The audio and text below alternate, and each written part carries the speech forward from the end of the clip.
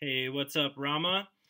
Uh, this is Andrew, and I'm going to be walking you through how to use my effects processing unit that I made for this midterm.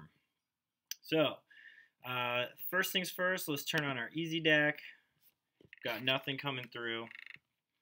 But uh, right here I have input handling, which allows me to select where my audio is going to come from. As you can see right now, it's coming in through the built-in microphone, so you can see the VU meter triggering here. I'm going to switch this over to my sound card so that it will now come from my guitar. So if we turn our Easy EZDAC back on, that is coming directly from my guitar.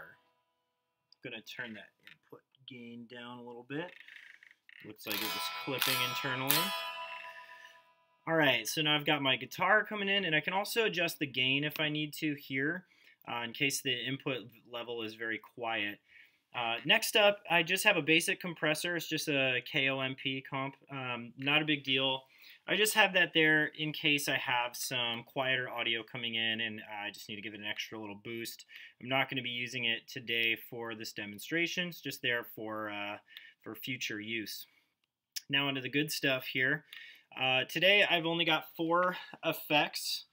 Um, I've got a comb filter that is functioning as a flanger, a distortion made by the tan H tilde, a shimmer, which is the effect that I've spent most of the time on, which is a pitch shifter that then goes into a reverb and loops back on itself. Uh, so it kind of just dissipates into the higher frequencies. Uh, next up is I have a modulation unit using the teeth tilde. And then, of course, I just have the dry outlet. Uh, so I intend to have several other things added to this, including loopers, but for this uh, midterm, uh, this is as far as I was able to get with that.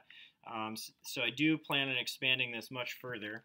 So let's just walk through and see how this works. Obviously, you made this, so you know how it works. But first things first, uh, we'll just turn on the output, and this is the dry signal right here.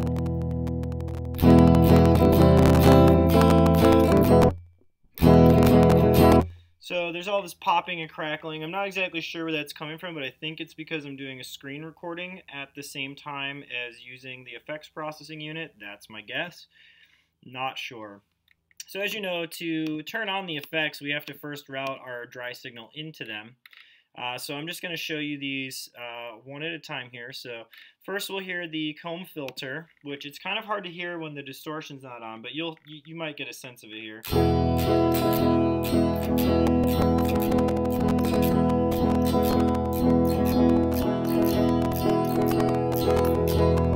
Yeah, it's really subtle when the distortion's not on. Um, so we'll turn on the distortion now so you can hear that.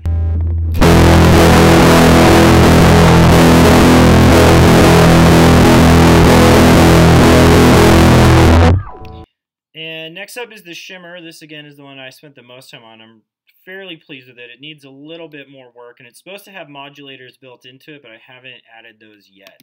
So this is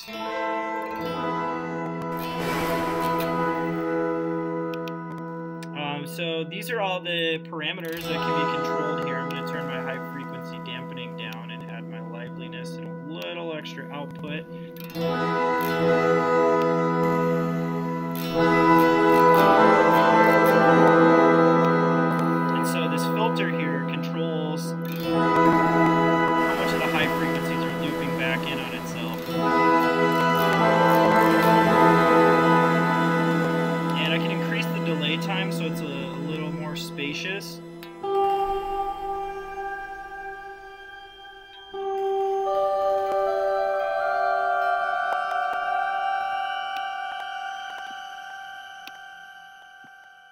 And I also have a cue for the filter, just in case I feel like getting a little weird.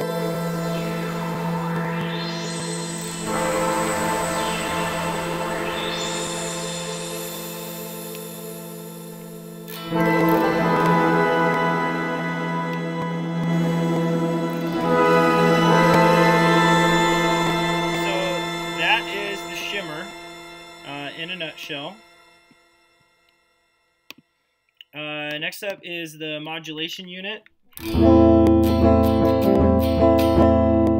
So this just is a teeth tilde, and it's got a couple presets here. We've got a vibrato, a flanger,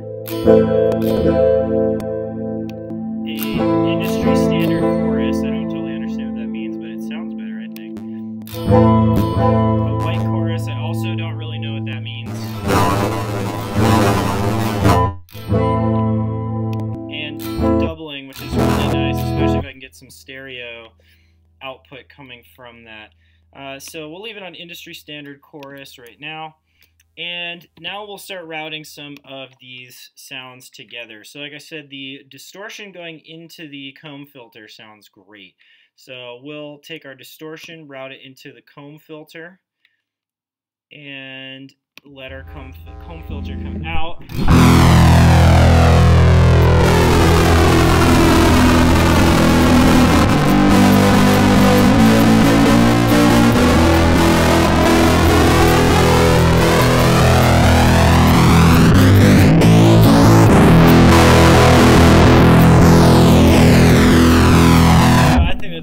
Like a 70s prog rock, like super fuzzed out uh, flanger. Uh, I'm really into that. Uh, next up, we can then like route our modulated uh, original single in signal into our distortion.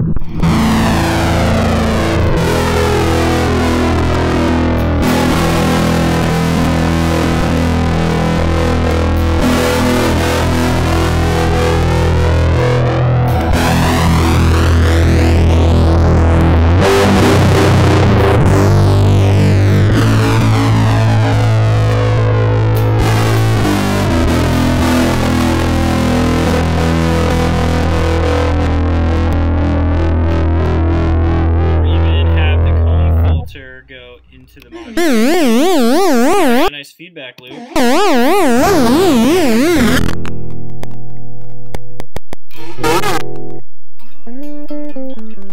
Sounds like something broke. That's funny.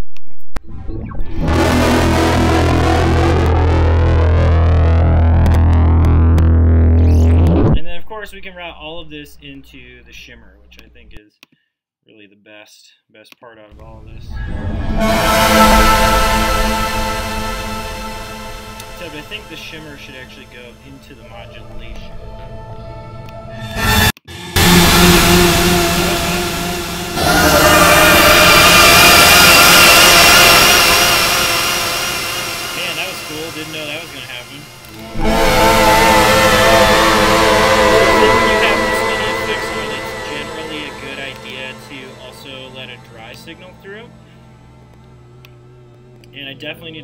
High frequency dampening on, maybe bring the frequency down, and definitely the Q.